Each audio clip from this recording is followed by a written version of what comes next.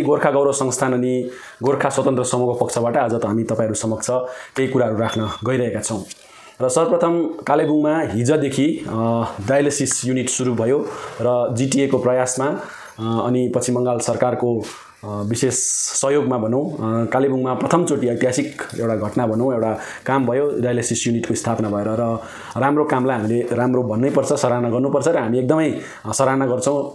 यहाँ धेरै हाम्रा जनसाधारणहरू थिए जसले डायलिसिस यहाँ कालेबुङमा नहुँदा धेरै दुःख पाइरहेका थिए। उहाँहरूले यो एउटा राम्रो अवसर पाए र अब कमसेकम उहाँहरूले यो दुःख गर्नु पर्दैन भन्ने हामीलाई पूर्ण आशा लागे राखेका छौँ र सबै सबैलाई जिटिए अनि सँगसँगै पश्चिम बङ्गाल सरकारलाई हामी एकदमै धन्यवाद दिन चाहन्छौँ यो एउटा ऐतिहासिक कामको निम्ति र हामी आशा पनि गर्छौँ र यो डायलिसिस युनिट चाहिँ एकदमै राम्रोसँग सुचारू चल्न सकोस् है। कुनै जनतालाई असुविधा नहोस् भन्ने पनि हामी कामना राख्न चाहन्छौँ।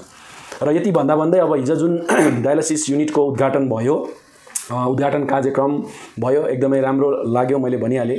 तर उद्घाटन कार्यक्रमको वरिपरि जति त्यहाँ नाटक भयो नि जति त्यो हिरोगिरी गर्ने काम भयो त्यसमा हामीलाई अलिकति ठिक लागेको छैन। त्यही कारण हामी तपाईँहरू समक्ष छौँ। र जिटिएका कार्यकारी सभासद स्वास्थ्य विभागका कार्यकारी सभा सभासद अरुण अरुण सिक्चिज्यू जहिले पनि कालेबुङ आउनुहुन्छ अनि कहीँ न कहीँ अनिल कपुर हिरो फिल्मको अनिल कपुर जस्तो एक्टिङ गर्नुहुन्छ। यो अचम्म लाग्दो कुरा छ। उहाँ एउटा यस्तो पोस्टमा बसिसकेपछि उहाँलाई एक्टिङ गर्नु जरुरी छैन। तपाईँ हिरो काम गर्नुहोस् तपाईँ आफै हिरो नै हो। तर हिरो बन्ने एक्टिङ मिडिया ल्याएर बोलाएर त्यहाँको स्टाफलाई गाली गर्ने यसमा चाहिँ हामीलाई अलिक पचेन। एक दुईवटा कुरा हामीलाई भन्नु छ। सबभन्दा पहिला अरुण शिक्षितज्यूलाई है तपाईँ स्वास्थ्य विभागको भारप्राप्त सभासद हुनुहुन्छ जिटिएको है। र जिटिए एक्ट छ यहाँनिर हेर्नुहोस्। यो जिटिए एक्ट हो दुई हजार एघारमा पास भएको है। यो हेर्नुहोस् भारत सरकारको छाप लागेको। यो चाहिँ कानुन हो है। यो देशको कानुन हो। अनि यो कानुनको फर्स्टमा नै हेर्नुहोस् फर्स्टमै सेकेन्ड प्याराग्राफमै के लेखेको छ भने उहाँले हिजो जुन नाटक गर्नुभयो नि जसलाई हामी नौटङ्की भन्छौँ नौटङ्की गर्नुभयो नि त्यो नौटङ्की चाहिँ गर्नु पर्दैन यहाँ एक्ट हेरेर तपाईँले काम गर्नुहोस् तपाईँ हिरो हुनुहुन्छ है। र म के भन्न चाहन्छु भने सेकेन्ड प्याराग्राफमा नै लेखेको छ अब्जेक्टिभ अब जिटिए बनाउनुको अब्जेक्टिभमा चाहिँ यहाँ के लेखेको छ भने जिटिए चाहिँ किन गठन भएको भन्दाखेरि चाहिँ अब्जेक्टिभमा लेखेको छ objective is to establish an autonomous self governing body है जिटिए चाहिँ। To administer the region so that the social, economic, infrastructural, educational, cultural, and linguistic development is expedited and the ethnic identity of Gorkha established भनेको छ हेर्नुहोस्। यहाँ के भनेको छ भने यो रिजन जुन रिजनमा बनाएको छ कुन रिजनमा भन्दा दार्जिलिङ खरसाङ कालिम्पोङको जुन चाहिँ रिजनमा बनाइएको जिटिएको मेन अब्जेक्टिभ नै हो सेल्फ गभर्निङ बडी हो यो र यसको मेन अब्जेक्टिभ चाहिँ हो सोसियल इकोनोमिक र इन्फ्रास्ट्रक्चरल एजुकेसनल कल्चरल अनि ल्याङ्ग्वेस्टिक डेभलपमेन्ट गर्नु यो रिजनको भनेको छ। अर्थात् यो क्षेत्रको अल अल ओभर डेभलपमेन्टको लागि बनिएको यो जिटिए हो। अनि जिटिए एक्टकै तपाईँको सेक्सन ट्वेन्टी सिक्समा चाहिँ यहाँ सेक्सन ट्वेन्टी सिक्समा चाहिँ कुन कुन डिपार्टमेन्टहरू चाहिँ जिटिएले चलाउन सक्छ भनेर चाहिँ यहाँ पुरा लिस्ट दिएको छ। Power and function of Gorkha territorial administration chapter टूको section twenty सिक्समा जुन लिस्ट दिएको छ धेरै लिस्ट छ। सन्ताउन्नवटा डिपार्टमेन्ट चाहिँ ट्रान्सफर गरिएको छ। सन्ताउन्नवटा लिस्ट छ। त्यो सन्ताउन्नवटामा तपाईँको सोह्र नम्बरमा चाहिँ जिटिएमा के ट्रान्सफर भएको छ भने यहाँ health including public health and family welfare including hospital dispensaries health centre and sanit sanatoriums establishing nursing training school भनेर चाहिँ लेखेको छ। अर्थात् यो चाहिँ सब जिटिएमा ट्रान्सफर भएको छ अनि तपाईँ चाहिँ जिटिएको भारप्राप्त सभासद हुनुहुन्छ। र तपाईँले हिजो जुन दुई तिनवटा त्यहाँ एक्टिङ गर्नुभयो है एउटा एक्टिङ चाहिँ त्यहाँ उभिएर भाषण दिँदै तपाईँले ब्यानरमा देखाएर भन्नुभयो यो चाहिँ नेपाली भाषामा लेखिएको हुनु पर्थ्यो किन लेखिएन भनेर प्रश्न गर्नुभयो।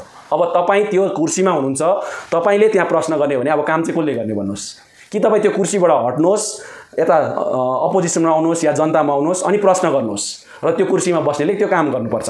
नत्र भने तपाईँले गरेको प्रश्न चाहिँ हामी जस्तो जनताले गर्नुपर्ने हो। कि यो नेपाली भाषामा लेखिनु पर्थ्यो किन लेखिएन भनेर। अनि तपाईँले चाहिँ एउटा नोटिफिकेसन निकाल्नुपर्ने हो। नोटिफिकेसन निकालेर अब हरेक कुराको चाहिँ नेपालीमा लेखिनुपर्छ। भनेर चाहिँ तपाईँले नोटिफिकेसन निकाल्नु पर्ने अनि तपाईँ किन एक्टिङ गर्नुहुन्छ? है एक नम्बर एक्टिङ तपाईँको त्यो देखियो। दुई नम्बर एक्टिङ तपाईँको त्यहाँ तपाईँ एमआरआई अप के अरे डिपार्टमेन्टतिर जानुभयो।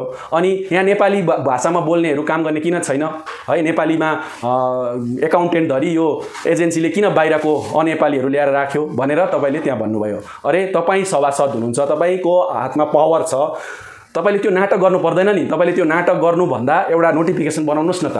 होइन यहाँनिरको कामहरू चाहिँ जिटिए बनाएको जिटिएमा जिटिएमै भनेको छ त सेकेन्ड प्याराग्राफमै कि यो जिटिए बनाएकै यहाँको रिजनको डेभलपमेन्टको लागि हो। अनि यहाँको रिजनकै मान्छेले पाउनुपर्छ प्रायोरिटी भनेर चाहिँ तपाईँले एउटा नोटिफिकेसन खोइ निकाल्नु भएको अनि त्यहाँ भाषणमा पनि तपाईँले भन्नुभयो कि यो एउटा नयाँ एपोइन्टमेन्ट सुरु हुँदैछ।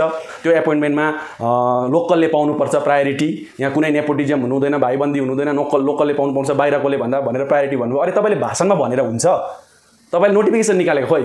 नोटिफिकेसन निकाल्नुहोस् लोकलले पाउनुपर्छ भनेर। तपाईँ त्यसै हिरो हो।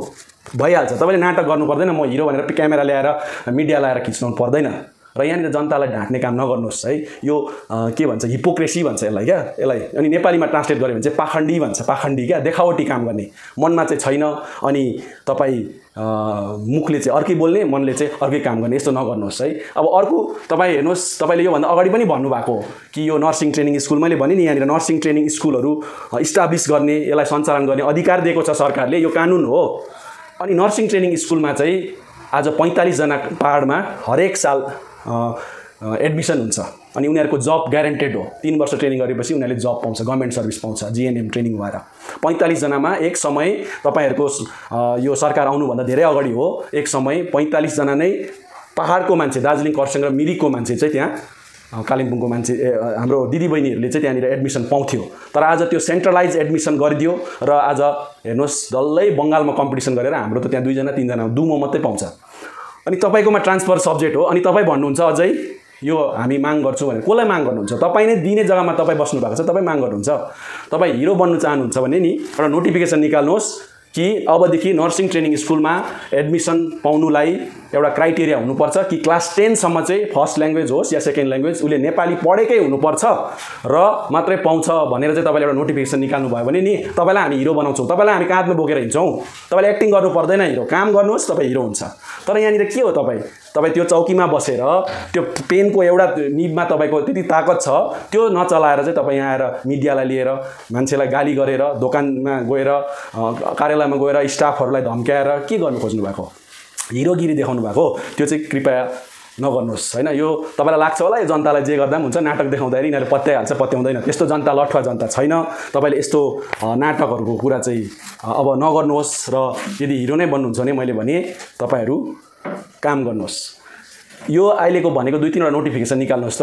तपाईँलाई हेर्नुहोस् त सिक्किमको मुख्यमन्त्रीले मुखले बोल्यो अनि काम पनि गर्यो नोटिफिकेसन पनि निकालिसक्यो त। तपाईँले निकाल्नुहोस् न कि तपाईँले त्यहाँ गएर एजेन्सीलाई फोन गरेर धम्काएर म भरे बात गर्छु भनेर भन्नुभयो। के बात गर्नुभयो भरे? आज भन्नुहोस् हामीलाई। तपाईँले भन्नुभयो एजेन्सीको कुनै कोसँग त्यहाँ बात गरेर त्यहाँ देखाउनु भयो एकदम क्यामेरामा म भरे बात गर्छु के बात गर्नुभयो? त्यो अघि मिडियामा चाहिँ मैले भनेको कि त्यो चाहिँ मेरो नौटङ्की मात्रै थियो। तिमीहरूले माइन्ड नगर्नु ल त्यही त भन्यो होला। होइन? अनि त्यस्तो भन्नुलाई किन तपाईँ क्यामेरा लिएर घुम्नुहुन्छ? क्या मिडिया लिएर घुम्नुहुन्छ? तपाईँले भन्नु पर्दैन। तपाईँले नोटिफिकेसन निकाल्नुहोस्। कुनै पनि एजेन्सीले यहाँ काम लाउँदाखेरि अथवा रिक्रुटमेन्ट गर्दाखेरि फर्स्ट प्रायोरिटी चाहिँ यहाँकोलाई दिनुपर्छ। अनि नेपाली भाषा चाहिँ उसले क्लास टेनसम्म चाहिँ पढेको हुनुपर्छ भनेर एउटा नोटिफिकेसन निकाल्नुहोस् त। हामी तपाईँलाई थपडी मार्छौँ। भन्दैछु त हामी तपाईँलाई हिरो बनाउँछौँ। तर राजनीति नगर्नुहोस् स्वास्थ्य भनेको चाहिँ एकदमै प्राइमेरी कुरा हो होइन? हेल्थ भन्ने कुरा एजुकेसन भन्ने कुरा यो एकदमै प्राइमेरी कुराहरू हो। यो चाहिँ सरकारले गर्नुपर्ने नितान्त प्राइमेरी कुरा हो अनि हेल्थमा एजुकेसनमा राजनीति चाहिँ राम्रो देखिँदैन अनि नौटङ्की पनि राम्रो देखिँदैन। हिपोक्रेसी भन्छ मुखले अर्कै भित्र चाहिँ अर्कै नेपालीमा मैले भने पाखण्डीपन भन्छ। त्यस्तो चाहिँ कृपया नगर्नुहोस् तपाईँलाई लाग्छ जनता एकदम बुझ्ने छ ए जनतालाई चाहिँ गर्दा पनि हुन्छ जनताले बुझ्दैन भनेर नसोच्नुहोस् जनता बुझ्ने छन्